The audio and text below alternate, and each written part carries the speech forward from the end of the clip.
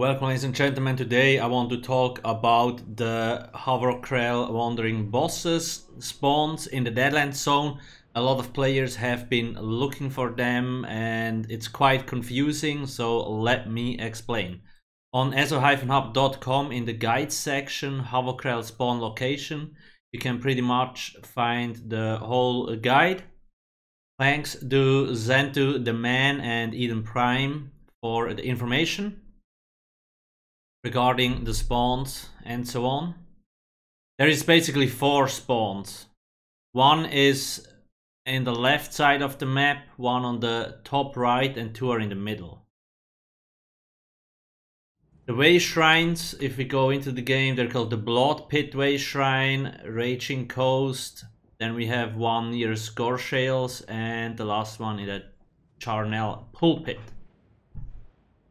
Pretty much the location here. It's very easy to find. There's probably also a lot of players camping the locations.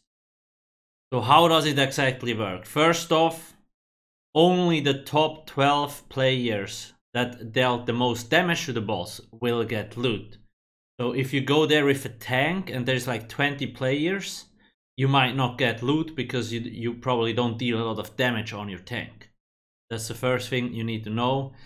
Secondly, the spawn timer is completely scuffed. About every 10 to 15 minutes, one boss spawns.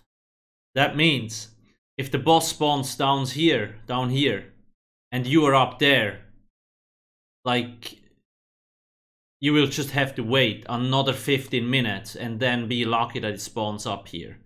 In my case, I was camping down here. I had to wait 40 minutes till the boss spawned. So either you actually check out the zone chat.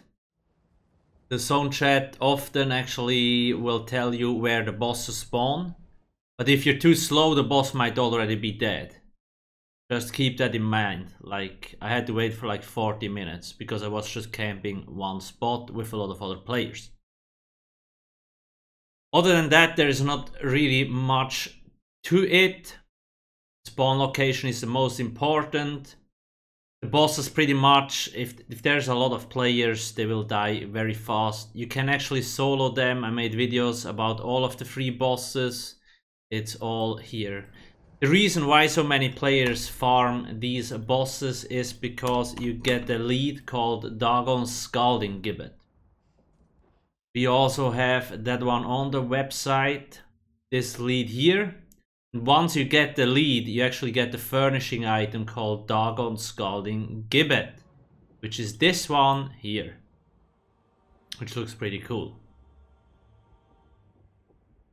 That's it. Make sure to check out eso-hub.com for all sorts of content.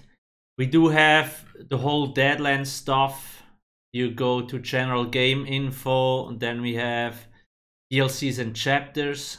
Here's the Deadlands DLC all guides are listed here the new ones then all the sets furniture items and a lot more info. If you need builds and game content it's on alcasthq.com all socials as well as the guide I will put all the links in the description. Thanks for watching and have a nice day. Cheers